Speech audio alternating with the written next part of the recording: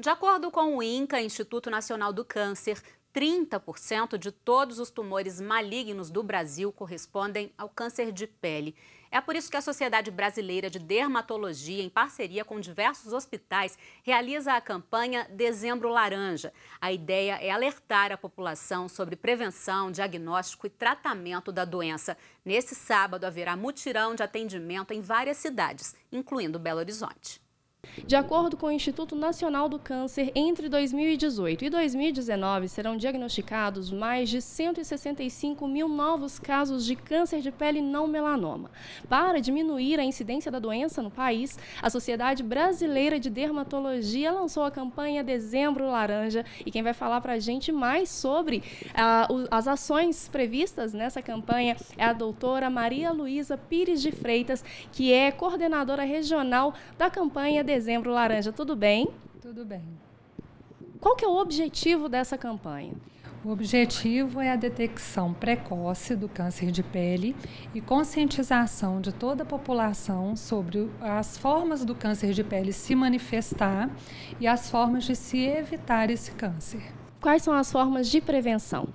Isso, então tem várias formas de se prevenir. Uma delas é o uso diário do protetor solar, com fator de no mínimo 30 de proteção. E além disso, a gente complementa essas medidas com o uso de chapéu. O chapéu de preferência de aba larga, aba, aba larga a gente entende 7 centímetros ou mais, boné, óculos e roupas adequadas. E é bom evitar também o horário que o sol está mais.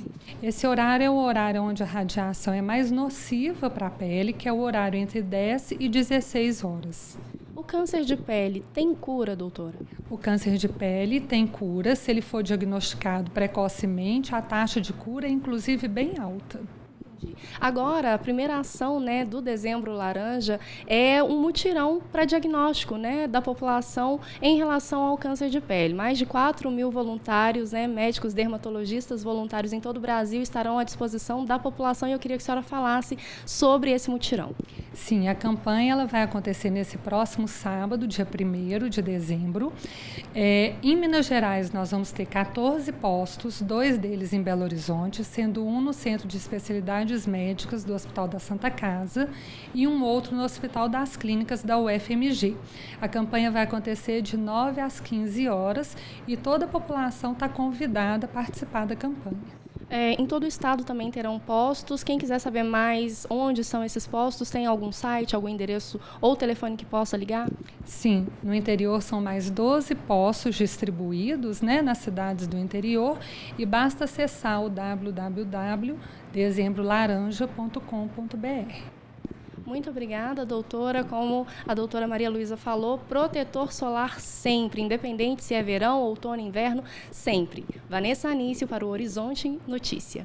Um novo roteiro para a história dos brasileiros mais antigos pode ser o resultado de um trabalho de cientistas de diversos países. São novas descobertas sobre a pré-história de Minas e das Américas, a partir do rico material encontrado em Lagoa Santa, na região metropolitana de Belo Horizonte. Veja agora na reportagem de André Cristino.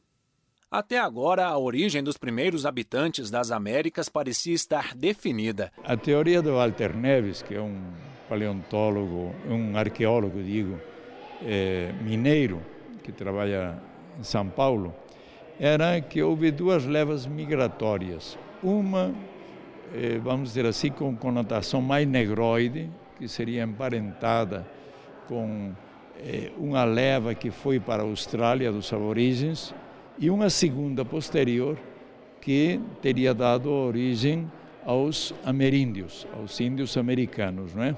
Mas pesquisas recentes apontaram uma novidade que pode mudar tudo o que se sabia. Graças ao trabalho de Peter Lund, dinamarquês que morou em Lagoa Santa por 46 anos e encontrou fósseis dos primeiros habitantes do continente. Luzia ainda é a brasileira mais antiga conhecida. O crânio dela é datado de 11.400 anos.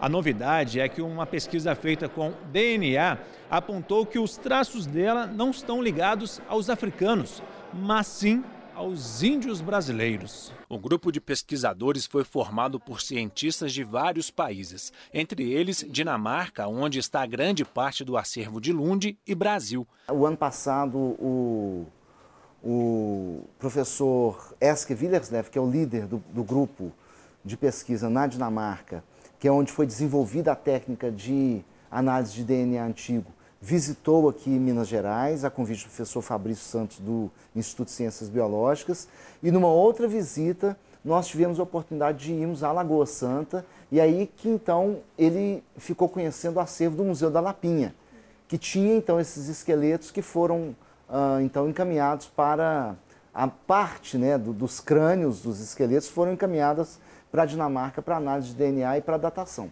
Lagoa Santa é o berço da arqueologia no Brasil, graças ao solo calcário, que contribui para a conservação dos fósseis. Isso aumenta a necessidade de proteção da área e desenvolvimento de técnicas de análise. As análises que são feitas, elas destroem o material.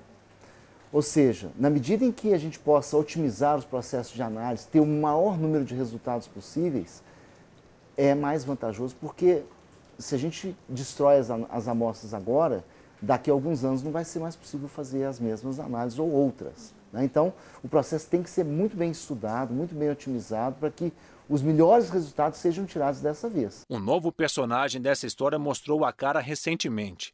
Luiz foi o último fóssil a ser revelado.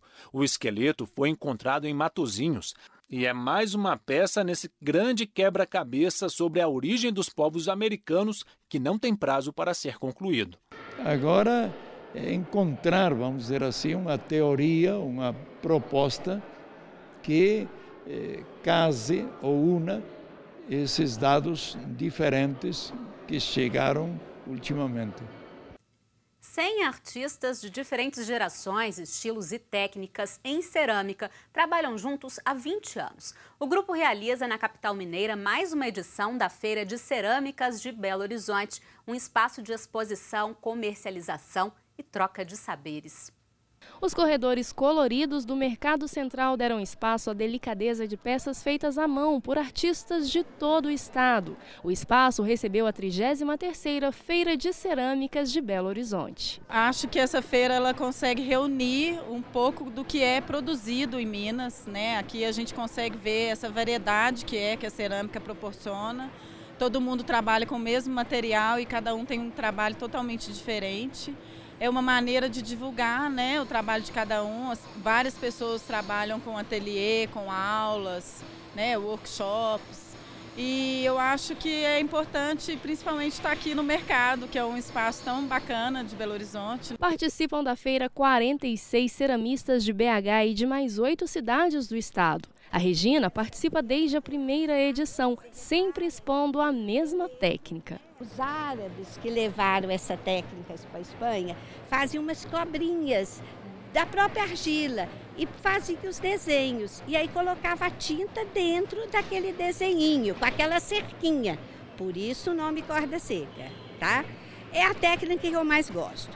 É uma, uma técnica diferenciada, que dá trabalho naturalmente, mas ela é a típica técnica da cerâmica, de pintura. Além de saborear o tradicional fígado com giló, aqui no mercado, o visitante ainda tem a oportunidade de participar de oficinas gratuitas e de demonstrações das técnicas utilizadas nessa arte tão presente no nosso dia a dia.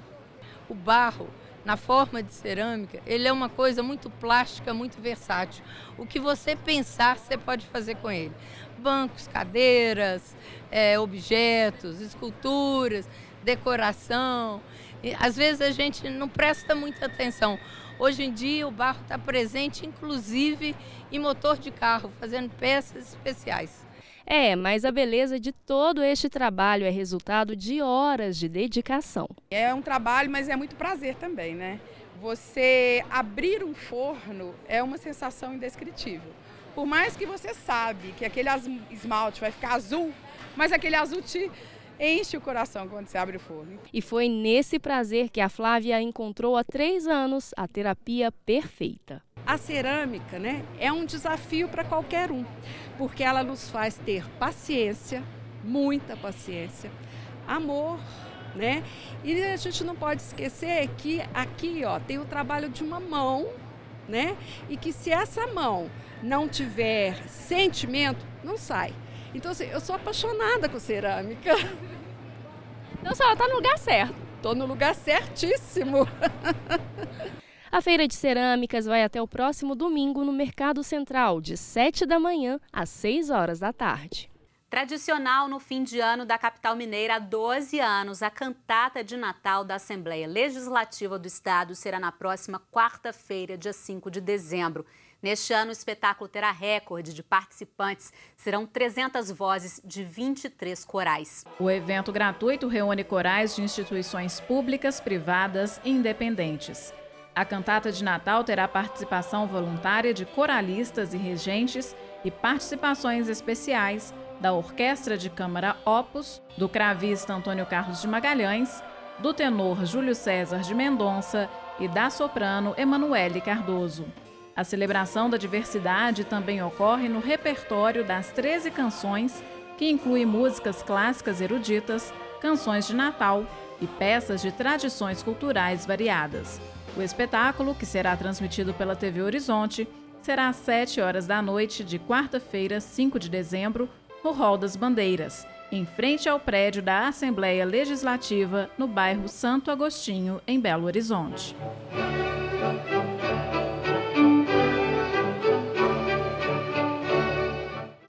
O programa de hoje termina agora. Para rever esse Horizonte Notícia, acesse o nosso site, é tvhorizonte.com.br. A gente se encontra semana que vem. Tchau, tchau.